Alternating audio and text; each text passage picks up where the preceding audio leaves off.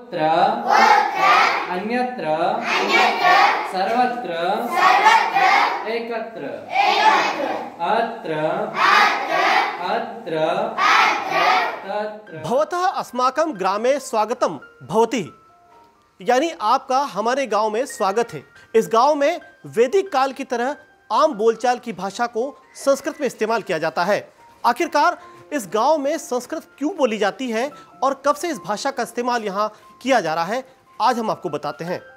जैसे कि संस्कृत जो है, हमारी मातृभाषा भी है और सब जो आपस में जब हम मिलते हैं तो संस्कृत में बातचीत करते हैं। जैसे हम हिंदी में बात करते हैं, आप कहाँ जा रहे हो, आप कहाँ कहाँ से आ रहे हो, उसी प्रकार संस्कृत में हम बात करते हैं, भगवान कुत्र गच्छति कुता गच्छति और जैसे ही संस्कृत का बाहर जो बाहर जो हुई है, उसका कारण यह है कि हमारे गाँव में जो महिलाएँ थी, बहनें थी वो बहनें बाहर चली गई सभी। जैसे जैसे अपने ससुराल गई है सभी। वहाँ पर जाके कोई का विद्यालय में पढ़ाती कोई का केंद्र चलाती है। तो उस गाँव में भी संस्कृत उनने पढ़ाई है, उनको सिखाई है गाँव दूसरे गाँव में जाके फिर। इस प्रकार से संस्कृत का विस्तार हुआ है। 2003 में संस्कृत भारती ने विचार किया कि भाई हमें किसी एक गाँव को संस्कृत गाँव बनाना है।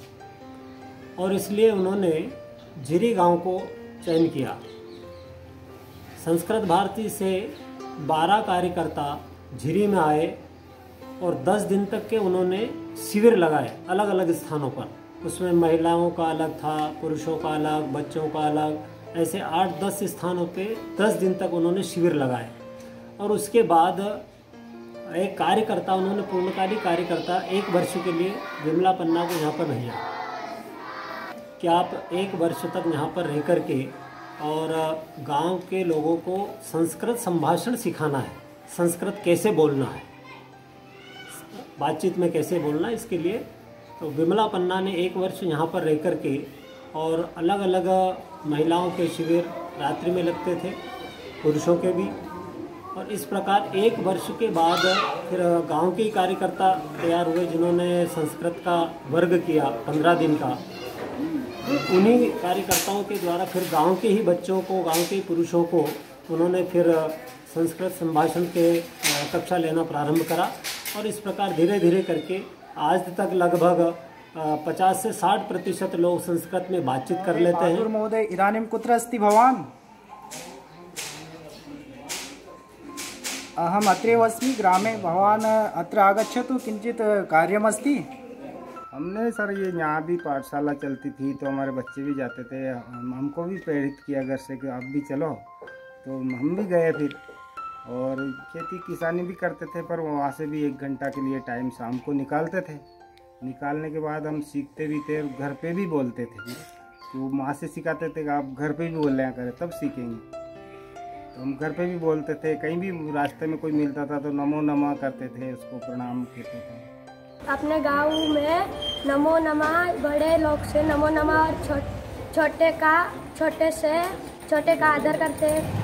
और बड़े जहाँ भी मिले, वही नमो नमा करते हैं। और हम हम घर पर भी रोटिका ददातु चषकः जलम पीबतु ऐसे बात, बातचीत करते हैं। जिरी गाम में दीदी आचार्य आगतवान अम पटामी अम लिखामी अम दीदी गणे गतवान। संसतम बतामी लिखामी बोलामी अम चलामी। वहाँ वहाँ पढ़े थी दीदी गणे हम इसलिए मार्गम ददामी चलामी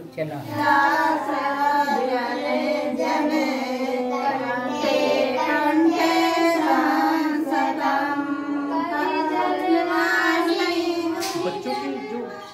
ग्रहण करने की स्थिति वो कैसी है और कितना जल्दी बच्चे कैच कर रहे हैं? किस तरह से गाँव के कितने बच्चों को अभी तक ये शिक्षा दी गई जो बहुत धारा प्रभाव बन रही है? अ, अभी तो लगभग लगभग 60 परसेंट बच्चे जो है लगभग संस्कृत में बहुत अच्छे से रुचि ले रहे हैं और उनको समझ में बहुत ज़्यादा जल्दी आ रहा है और वो बताते हैं मैं उनसे पूछता भी हूँ कि संस्कृत भाषा कैसी लगती है? तो कि संस्कृत बहुत ही मधुर भाषा है और बहुत ही मीठी भाषा है और इसको हमें समझने में कोई तकलीफ़ नहीं होती तत्र अन्यत्र